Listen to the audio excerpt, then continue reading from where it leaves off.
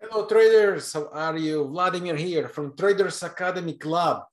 And in this video, the second video of the special series of videos I record for you, my community, my followers.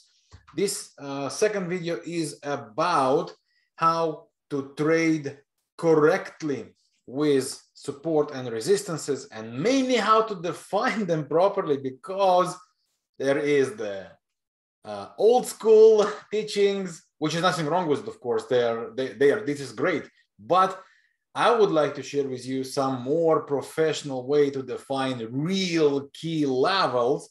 And I will present you how they really look like in real time when you are looking for real trading opportunities. So this is very exciting video. I'm very excited to create it and I hope you will uh, like it. And if you do, I have a friendly request from you to support my work. Hit this like button below the video, drop some feedback in the comment section. Your help is very much appreciated and needed, uh, you know, to deal with all the YouTube algorithms. So this video is uh, exposed to the right uh, people that real that really need this sort of guidance. So uh, let's begin uh, with uh, with our subject, but right before that, one last thing: if you are new to our amazing community, I would like to invite you to subscribe to this channel. Please follow the subscribe button below the video. And just remember to enable the notification so you know when there is a new video available for you. And also I would like to invite you to join our trading family, the Traders Academy Club where you will be exposed real time to our trading ideas, to our real-time trading education. As you can see, this is direct channel. Okay, this is the channel where we upload all the real-time ideas uh, as they go. Uh, and all the real-time education is delivered to you in every single video. Each idea comes with a video, as you can see. Okay, and then we follow up with updates so I uh, invite you to come and uh, join and enjoy from all, everything that we have here for you, all the real-time education, real-time trading ideas, and mainly um, like-minded people, all the same traders have the same goal to enjoy the profits we do in trading. So how do we work with the real support and resistance? Uh, so first of all, if you are new to the subject, I invite you to go to my blog, which you can find right here. Okay, vladimirribakov.com. Then go to Forex Education. Okay, if you are completely beginner, I uh, really encourage you to start with this complete guide and take it step by step from there. Uh, you can also enjoy from a little bit more advanced complete guide, which you can find here. And then the next step, go to these free ebooks. And here inside this page, refer to this book. There are many others there for you, but uh, this is the one that you will want uh, to download because it will uh, be related to the subject we will see in this video. Okay, so just go here in this page and download this ebook and enjoy for them completely free. Uh, now, to present the trading uh, ideas uh, that um, I want to do to explain um, my uh, techniques with the support and resistances and mainly with the key levels. Let's go to our trading journal. This journal is directly from Traders Academy Club. As you can see, we started that from back then in June all our trading ideas. So to present my support and uh, resistance, um, I would say, I wouldn't say hacks, but main tips. That's something the traders don't pay attention to. And I really want to deliver that uh, tips so you can apply that in your, uh, in your trading. Uh, so uh, to do that, I will choose the oil and the euro pound, two of the most recent uh, trades that we did here. The first one, oil, and then the euro pound okay but before that let's explain what is a support and resistance i'll go for a blank screen now, so don't uh, be surprised What is a resistance? The price moves in some sort of trend always, right? Or ranges. And at some point, the price creates a resistance. For whatever the reason is, at specific price level, the sellers resist, reject the, uh, uh, the buyers, all the rallies, and they hold a specific level. And every time that the price comes to a specific level, we see a rejection and the price goes down afterwards. This is a resistance, a level that is above a current market, uh, market price that hold or hold it in the past the, um, the price and create bounce, rejection from the zone and bounces. The support would be the same thing, just reversed. It, the price would be, the support would be below the current price. So if we go up to retest it, okay, many times, and every time it comes for a visit, it could little try to break through. It will create a false breakout, right? We will see some rejection and the price to go and make some rallies afterwards. But this is the classical way to deal with support and resistance. There is then a bit more complex area, and that's resistance that is broken becomes to be supportive area, right? If it used to be a key rejection area, and then the market managed to break it, afterwards it becomes a supportive area. Why? Because if the buyers manage to take it through the roof, in that case, this resistance area, and then their interest would be to hold this area, right? Uh, to protect their buys and keep try to keep uh, pushing the price further, this would become a supportive zone. And the vice versa, if it would be a support, right? The sellers uh, were trying to push through, the buyers were rejecting here, but the sellers managed to break it through, then they will reject this zone as to protect their sales and to try and push the prices further down. So that's how it works in a classical way. And of course it works. There is nothing wrong with the very basics. However, there are, well, there is a key tip I would like to give you, something that most traders don't pay attention to. The market is moving in a certain structures, right? If it's an uptrend, you will see higher highs, higher lows. If it's a downtrend, you would see lower highs, lower lows. So far, nothing new, right? But what happens if the market was in an uptrend and then flips, reverses? At some point, every trend comes to the end, right? That's not new. What and how do we identify the key levels there? So one of these things is when the market flips, think about it this way. What was the last high before it flipped? So we had this high, it turned to be fake high because didn't manage to hold above, and then it flips to the downside. This is the area, right, that the sellers rejected and the buyers tried to break through this zone, but they failed. So the next time the market does that, a lower low, and come to retest the here, this area, this very area that the buyers did, uh, sorry, the sellers did fight. Okay, the buyers managed to create here a breakout, but it turned to be fake. So the sellers managed to win this battle, right?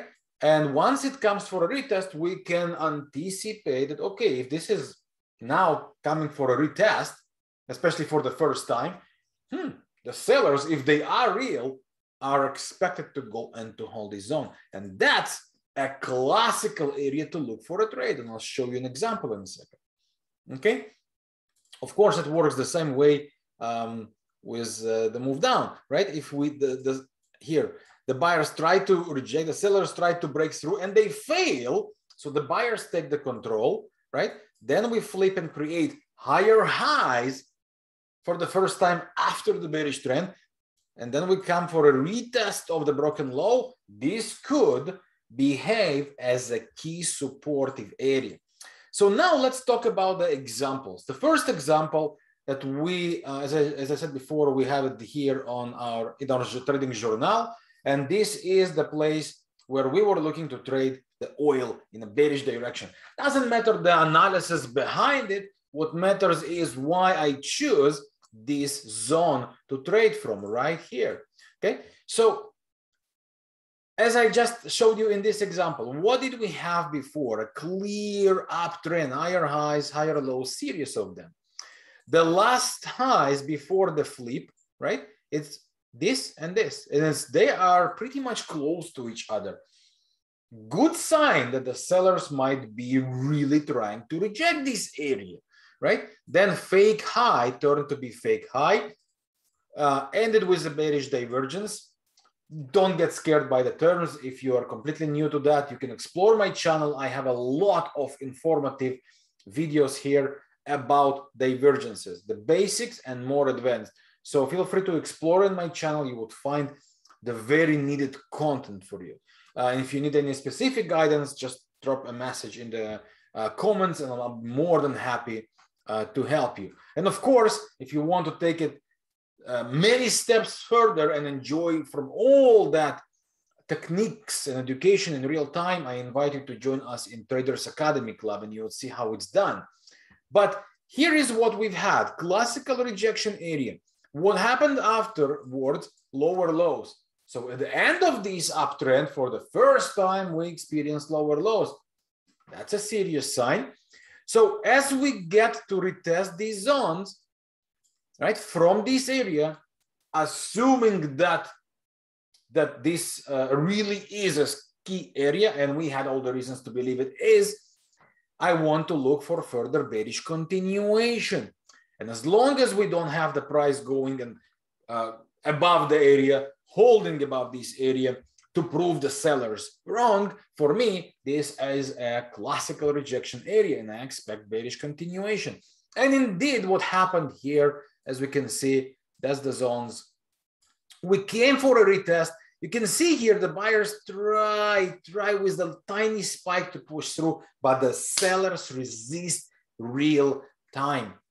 Okay, this is a classical understanding. Okay, very likely we're gonna experience further move down. And as it gains the momentum, you can then start managing your profits, go risk-free, partial cash out, etc., etc.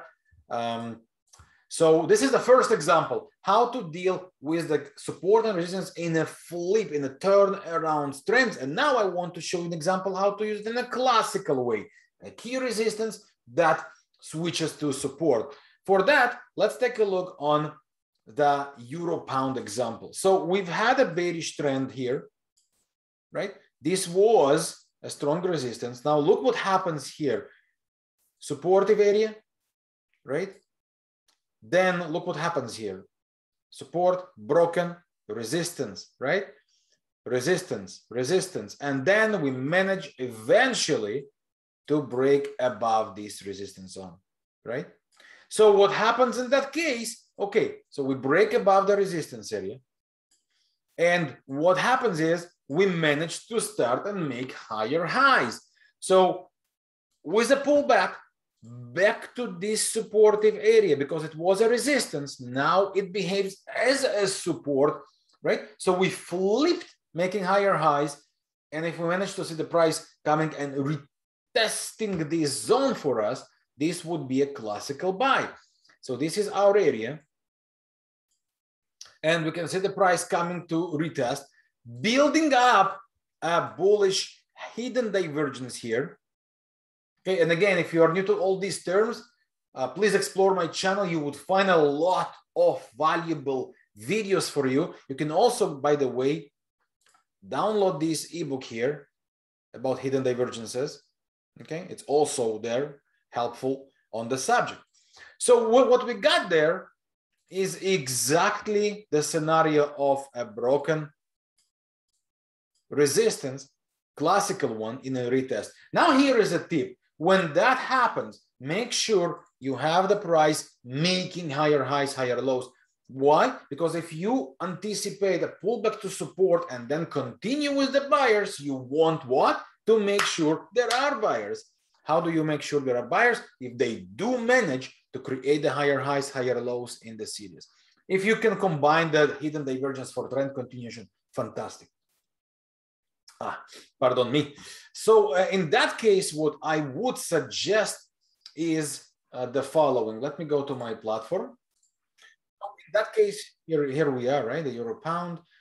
let's uh, mark this uh, supportive zone. In that case, you can go to the lower time frame and on the lower time frame to look for divergences to hint the buy in the case bullish divergence, or at least start looking for the flip again. If we got the retest, right, retest of support uh, by uh, making lower highs, lower lows, you want now to break through the highs and start to create higher highs, higher lows again. So as we break through the most recent high, you get yourself an immediate opportunity to understand, okay, so there is a trending structure and a retested supportive zone on the higher time from the four hour chart. On the one hour chart, I have the bullish flip again. What can get better? This is the classical price action you want to apply in order to join the controlling forces on the market. In that case, uh, the, the buyers. Okay, so uh, that's it for this video. I hope you understand these little tricks uh, by using the support and resistance better. And as uh, I said before, if you um, want to take it many steps further, see how it's done in real time, and enjoy from all the real time explanation and education we deliver. I invite you to join our trading family, the Traders Academy Club, and you can find the link below this video in the description or in the pinned comment. That's it for this video. This is the second video of the series, the three video series, one more to come. Uh, so thank you very much for watching. I hope you find it useful and helpful. And if you do, feel free to share it with anyone who can enjoy from such content. And uh, please hit this like button, drop some feedback in the comment section. And thank you very much in advance for your help. I wish you all the best. Stay safe. Take care. See you soon with more. Bye for now.